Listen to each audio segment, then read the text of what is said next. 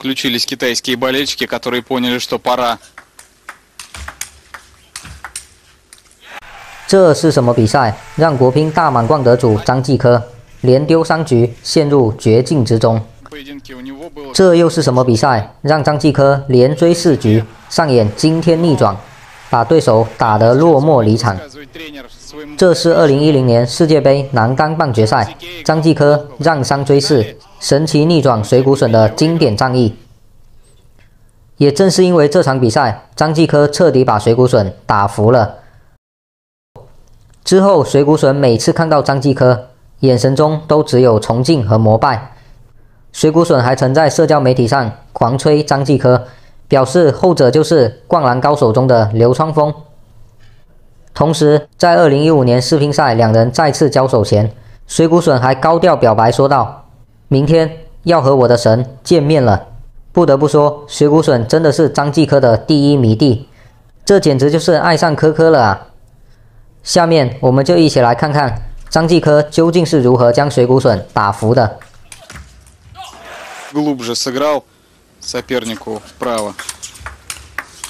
Заработал сетбол. Но тяжело будет использовать его.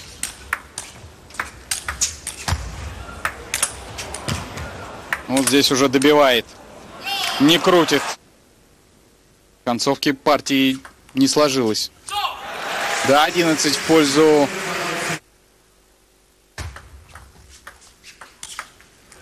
前三局比赛，水谷隼攻势迅猛，反观张继科则跟没睡醒一样， прием. 回球软绵绵的，失误还非常多，被水谷隼连下三城。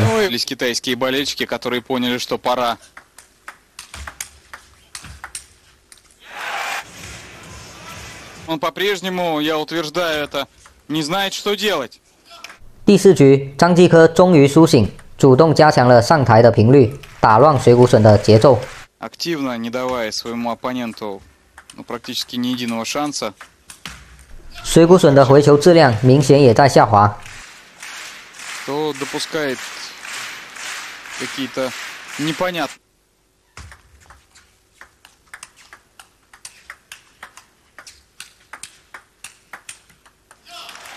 Соревнования.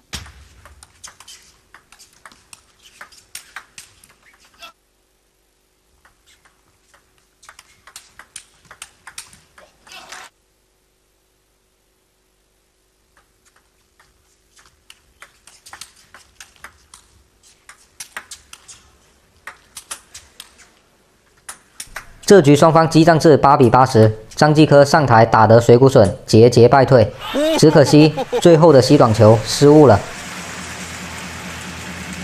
Укорачивал, но укорачивал, во-первых, слишком очевидно, а во-вторых, даже если бы попал этот мяч, он был бы очень удобный, высокий для Мидзутани, тот подбежал бы просто и убил.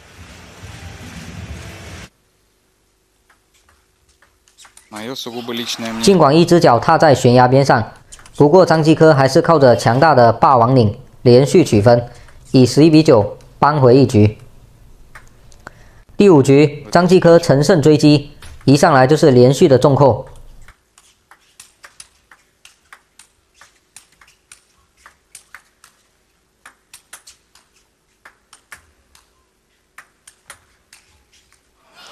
Ну, в принципе, это игра из средней зоны с перекруткой.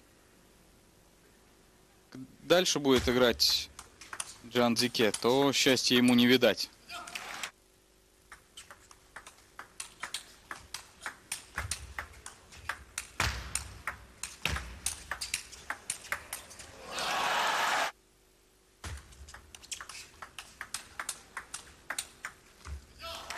Следующих партиях и начал играть совсем по-другому.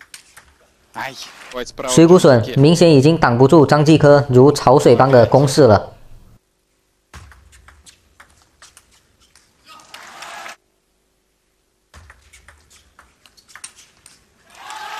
十一比五，张继科再追一局。 11-5 и ты умеешь лучше всего.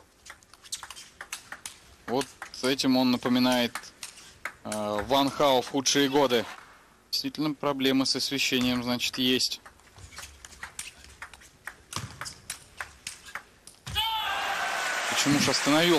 第六局水谷隼状态回暖一度七比四领先。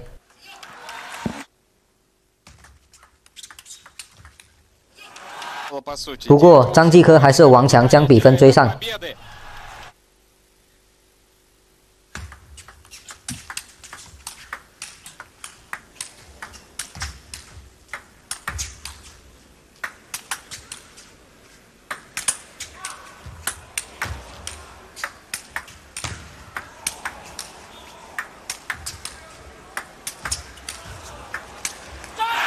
Да, класс.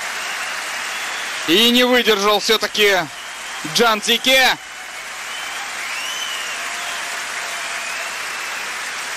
Вот здесь очень глубоко мяч ушел в левую сторону. И ошибся. 关键时刻，水谷隼连续拿到赛点，但都被一一化解。 Но не будем забегать вперед.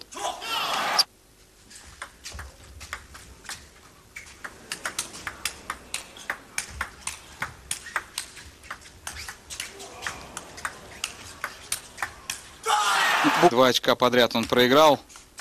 Сетбол заработал Китай. 最后，张继科还连得三分，将比赛拖进决胜局。 Слева. Нет.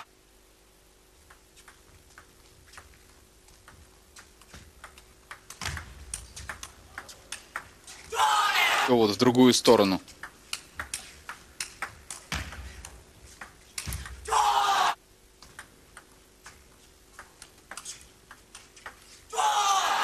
第七局，水谷隼明显已经体力耗尽，反观张继科则是越打越兴奋， 9 连续的进攻取得九比二的领先。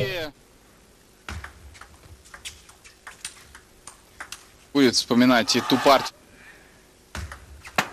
Шансов на победу в этом поединке у него было гораздо больше, чем у 最终，张继科十一比四轻松胜出，实现了不可思议的大逆转。 赛后张继科疯狂挥拳庆祝而水谷隼则是一脸沮丧落寞离场。虽然是输给了自己的偶像但三比零领先都能被逆转换了谁都不好受啊。